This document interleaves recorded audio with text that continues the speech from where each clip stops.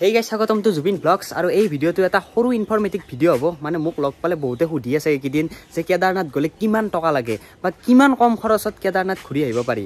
ভাবিলোঁ মই এটা ভিডিঅ'ই বনাই দিওঁ কাৰণ সকলোৰে এটা ড্ৰিম প্লেচ হয় কেদাৰনাথ। আপুনিও যাব বিচাৰে বা বহুতেও যাব বিচাৰে। তো সেই পেকেজটো কিমানত মানে একদম কমত হয় আৰু কেদাৰনাথ যাবৰ কাৰণে। আহকচোন বঢ়িয়াকৈ হিচাপটো কৰোঁ কিমানত কি কৰি কেদাৰনাথ যাব পৰা যায়? এনে বহি কলম ওলাই ল'লোঁ মানে ধুনীয়াকৈ বুজাই দি আছোঁ মইতো গ'লোৱে বাৰু। এতিয়া চাওক যাবৰ কাৰণেতো বহুত প্ৰচেছ আছে। ভৰি দুখন আছে খোজকাঢ়িও যাব পাৰে ফ্লাইটতো যাব পাৰে ট্ৰেইনতো যাব পাৰে বাছতো যাব পাৰে। তো বেছিভাগ মানুহে ট্ৰেইনত যায় নৰ্মেলি এতিয়া আমি ট্ৰেইনৰ হিচাপটো কৰিম মই গ'লোঁ বাৰু ফ্লাইটত মানে ফ্লাইটত বহুত কমেই যায় কিন্তু ট্ৰেইনত নৰ্মেলি বেছি যায়। অপশ্যন হ'ল আপুনি ফ্লাইটত যাব পাৰে প্ৰথম কথা। আৰু ছেকেণ্ড কথা হ'ল ট্ৰেইনত যাব পাৰে। তো ট্ৰেইনত খৰচটো একদম কম হয় কিন্তু এটা জেগালৈকে প্ৰথম যাবই লাগিব। এটা জেগা মানে কেনেকুৱা? আপুনি দেহৰাদুনলৈকে যাব পাৰে। দেহৰাদুন বা ঋষিকেশ যাব পাৰে। লগতে হৰিদ্বাৰ যাব পাৰে। হৰিদ্বাৰ। দেহৰাদুন ঋষিকেশ হৰিদ্বাৰ।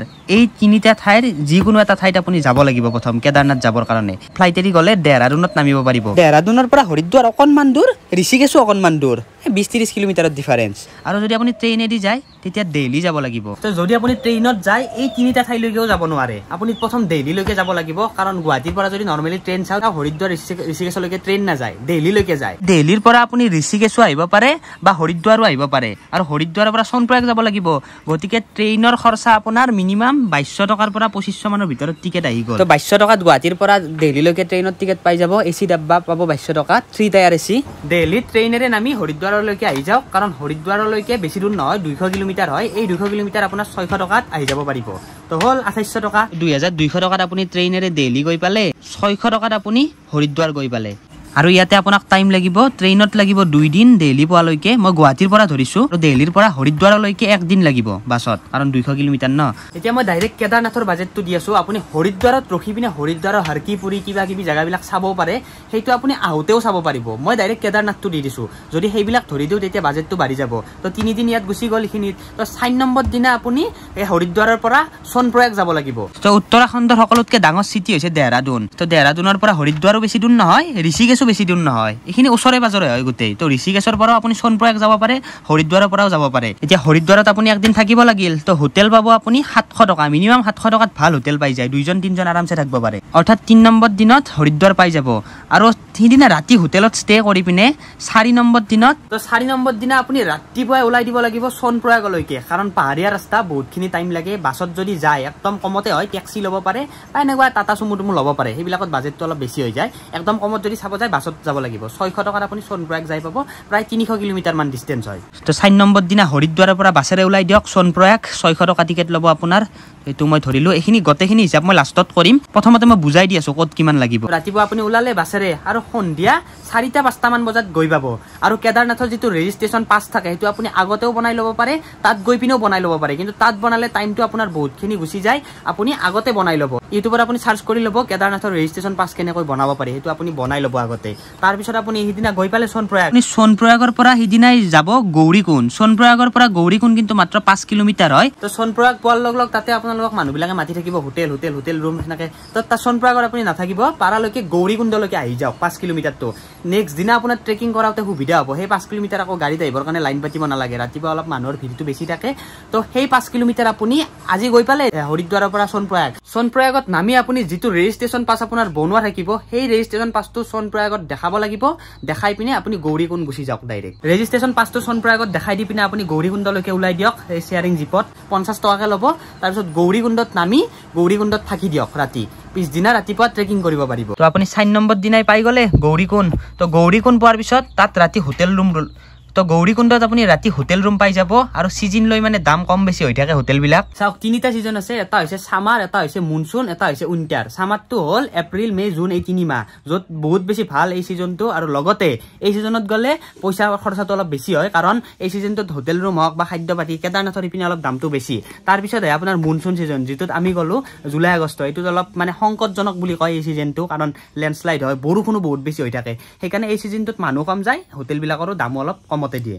গতিকে তাৰ পিছত এটা সেইটো হৈছে উইণ্টাৰ ছেপ্টেম্বৰ আৰু অক্টোবৰ সেইটো হৈছে বৰফ পৰে।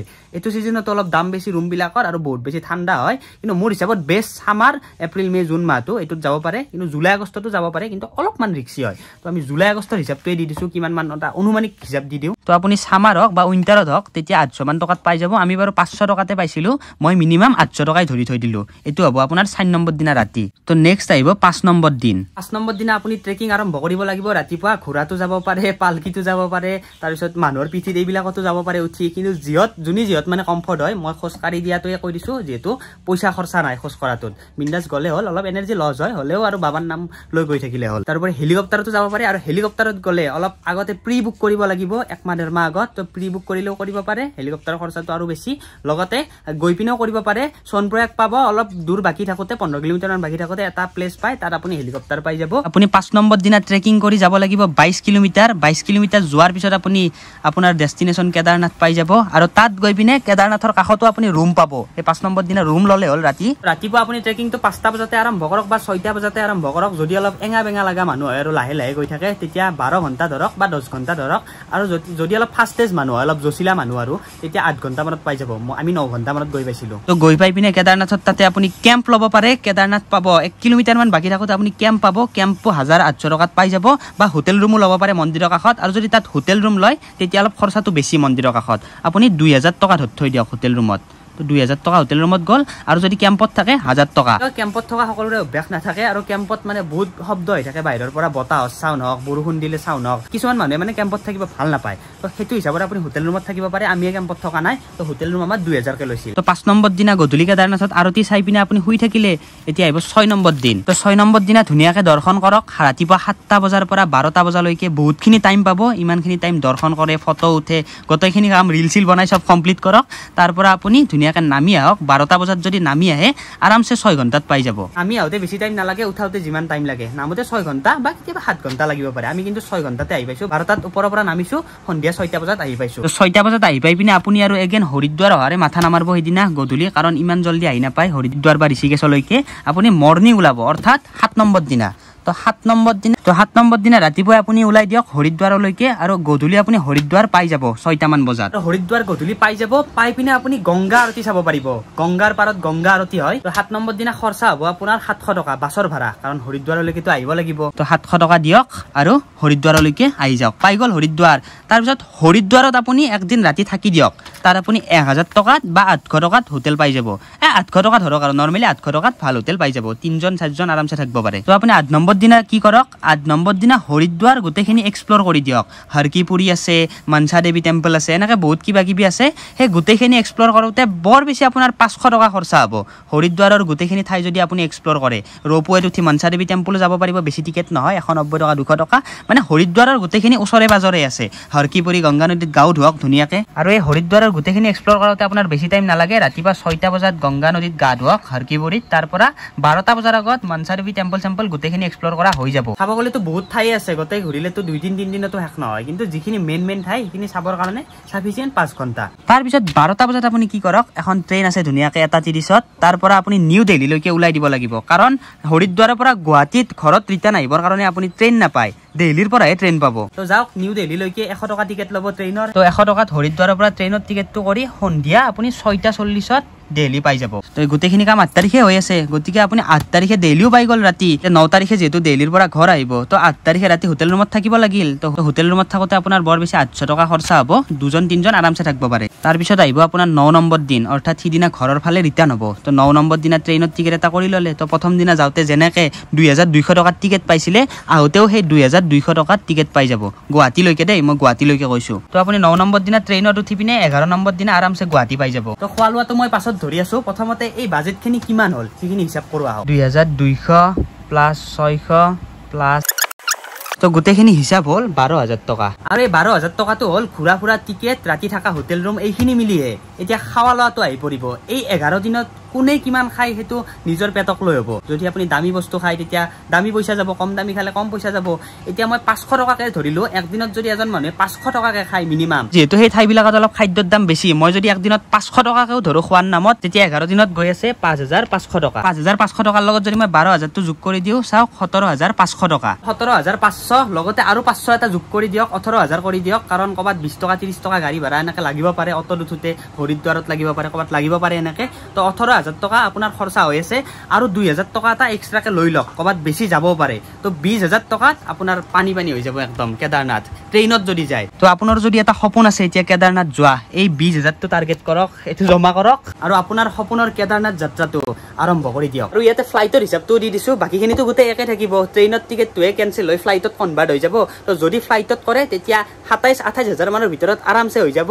আৰু যদি ট্ৰেইনত কৰে বিছ হাজাৰ টকাত আপুনি আৰামছে কেদাৰনাথ ঘূৰি আহিব পাৰিব। তো এইখিনি হৈছে কেদাৰনাথৰ মেইন হিচাপখিনি। তো এই বাজেটখিনিৰ ওপৰত যদি আপোনাৰ কিবা সন্দেহ আছে মোক কমেণ্ট কৰিব পাৰে। মই কমেণ্টত আপোনাৰ ৰিপ্লাই দি দিম। আৰু যিহেতু তাত ঠাণ্ডা জোতা জেকেট এইখিনিতো লাগিবই বাৰু ল'ব। ইয়াৰ মাজতে আৰু এটা কথা কৈ দিছোঁ সেই ঠাইবিলাকত যাই পিনে যদি আপুনি দালালৰ পিছত লাগি যায় না তেতিয়া কিন্তু এই সোতৰ হাজাৰটো আপোনাৰ ত্ৰিছ চল্লিছ হাজাৰতো নহ'ব। কোনো দালালৰ পিছত নাযাব কোনোবাই যদি কয় হোটেল দেখাই দিম কিবা দেখাই দিম এইবিলাকত গুৰুত্ব নিদিব নিজে যিখিনি পাৰে সেইখিনি বিচাৰি পিনে ল'ব আৰু গাড়ী মটৰ এইবিলাকৰ অভাৱে নাই নন ষ্টপ পাই থাকে তাত। এতিয়া আমাৰ অলপ বাজেটটো বেছি ওলাই গ'ল কাৰণ আমি বাছ লোৱা নাছিলোঁ কাৰণ প্ৰাইভেট টেক্সি লৈছিলোঁ। যিহেতু আমি ভিডিঅ' বনাই গৈ আছিলোঁ অ'ত ৰখিছোঁ ত'ত ৰখিছোঁ কিন্তু বাছ বাছেতো তেনেকৈ নৰখিব ন। ভোক লাগিলে বাৰু ৰখি ৰখিব হাগা লাগিলে ৰখিব কিন্তু এই অ'ত ৰখাই দিয়ে ত'ত ৰখাই দিয়ে। সেনেকৈতো বাছখন নৰখে কাৰণ আপোনাৰ দৰে এনেকুৱা বহুত মানুহ থাকে। কিন্তু টেক্সি ল'লে সেই টেক্সিবিলাক য'তে ৰখাব দিয়ে তাতে ৰখি যায় আৰু। কাৰণ আপুনি প্ৰাইভেটকৈ বুক কৰি লৈছে সেইখনৰ সেইকাৰণে ভাড়াও বেছি। সেইকাৰণে আমাৰ অলপ খৰচাটো বেছি হ'ল।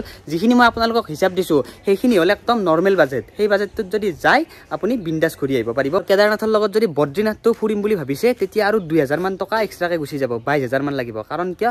একদিনৰ ৰুমৰ খৰচাও বাঢ়ি যাব আৰু গাড়ী ভাড়াখিনিও বাঢ়ি যাব। আপোনাৰ যদি এটা সপোন আছে এই হিচাপটোত আপুনি কেদাৰনাথ গৈ পিনে ধুনীয়াকৈ সপোনটো পূৰণ কৰিব পাৰে। আৰু অতি সোনকালে মোৰ চেনেলটোত হাণ্ড্ৰেডকৈ হ'ব গৈ আছে। যিসকলে নতুনকৈ আহিছে ছাবস্ক্ৰাইব যদি কৰা নাই তো কৰি দিব। আৰু আমাৰ এই ছাগালটো যে আছে ইয়াৰ মই এটা নাম দিছোঁ। ইয়াৰ এটা নতুন নাম হেলেন। ইয়াৰ নাম আজিৰ পৰা হেলেন।